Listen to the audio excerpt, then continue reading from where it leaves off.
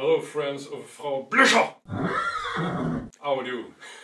Uh, Henrik uh, didn't bring his camera so we're doing this with an iPhone. Thereof the enormously uh, good quality of the film. Anyway, uh, day two is done. Uh, we're done with uh, the entire sampling of the kit, all the toms, the snares, stuff like that, all the cymbals. we brought some goodies for you, lots of more cymbals this time as well as uh, the Vinnie Colaiuta special, uh, his, I don't know, mini cymbal fetish.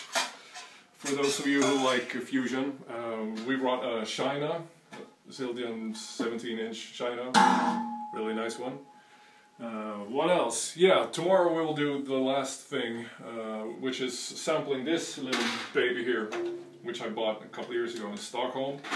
It's a Yamaha snare. Um, some kind of, yeah, 80s, I don't know, 14 by 7 I think, birch. Um, almost identical finish, I really love it, though it's not mine.